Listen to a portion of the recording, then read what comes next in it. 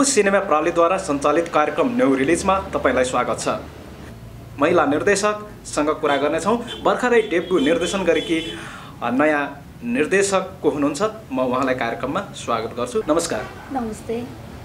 तपाईँको परिचय तपाईँ आफैले दिनुहोस् न। म क्रिस्टी राई लिसरा घर मेरो भोजपुर। म जन्मेको दार्जिलिङको कालिम्पोङ।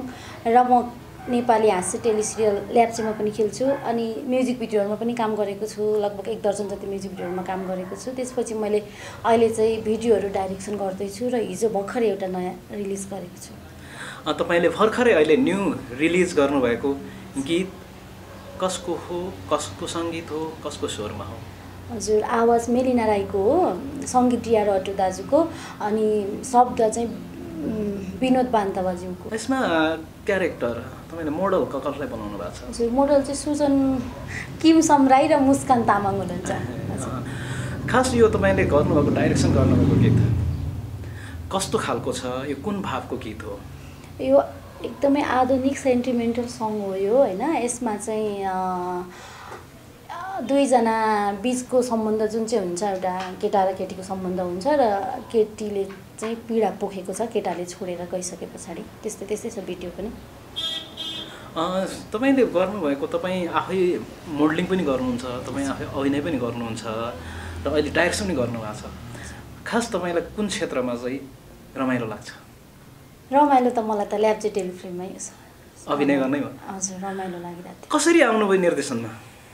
निर्देशनमा कस्तो भयो भने अब यो क्षेत्रमा मतलब यो भिडियो डाइरेक्सनमा चाहिँ केटी मान्छेहरू बेसी हुनुहुन्न थियो अनि लेडिजहरू नभएको कारणले म पनि एउटा यसो सिकाउँ जानौँ के कस्तो हुँदो रहेछ अब अनि यसो जान्छु। एउटा कलाकार जसले अरूको कलाहरू हेरिराखिएको हुन्छ तर आफैले डाइरेक्सन गरेर आफैले कलाकारहरूलाई नै हराउँदा सिकाउँदा कराउँदा कस्तो फिल हुँदो रहेछ?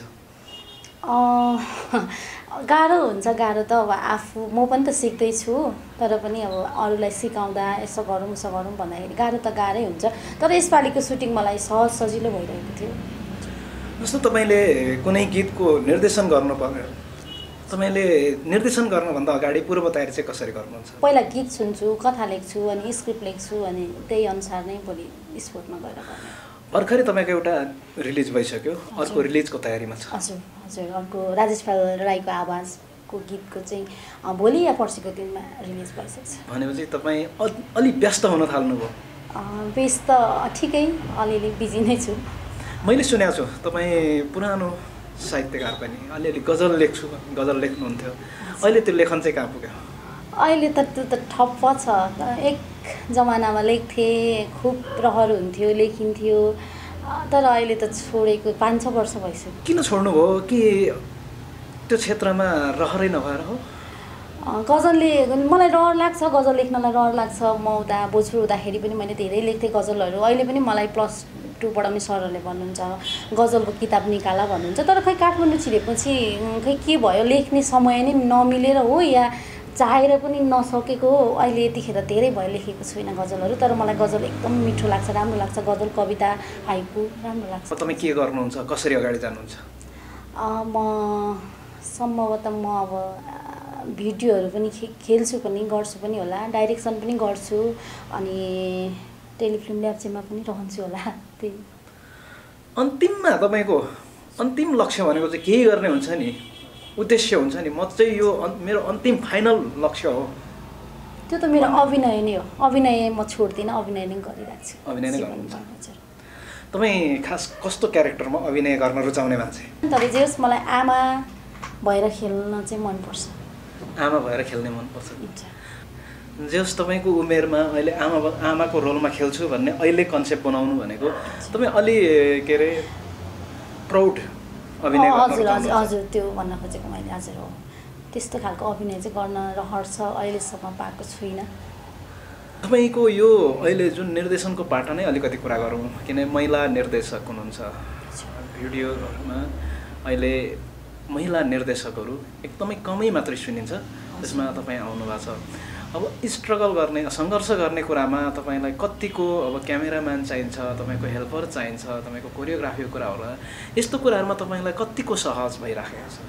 यसमा त मलाई एकदम सहज यति बेला सम्झिन्छु म दिने डम्बर राई दाजु अनि दिनेश बराजुले हुनुहुन्छ होइन? उहाँले जस उहाँहरूले मलाई धेरै हेल्प गर्नुभएको छ नजानेको कुरामा कति ठाउँमा यस यति बेला यस्तो गर्नुपर्छ यो बेला यो सर्ट राख्नुपर्छ है भनेर सल्लाह दिनुभयो। त्यही भएर होला अब भिडियो पनि राम्रै बनेको छ पहिलो डाइरेक्सन भए पनि भनेर अब धेरैले भन्नुभएको छ साथीभाइहरूले। त्यही भएर उहाँहरूलाई चाहिँ यो श्रेय दिन्छु र एकदमै खुसी लाग्छ उहाँहरूले गर्दा। सजिलो सहज भयो मलाई अप्ठ्यारो भएन। हुन्छ। तपाईँको व्यस्त समय दिनुभयो हङको सिनेमालाई।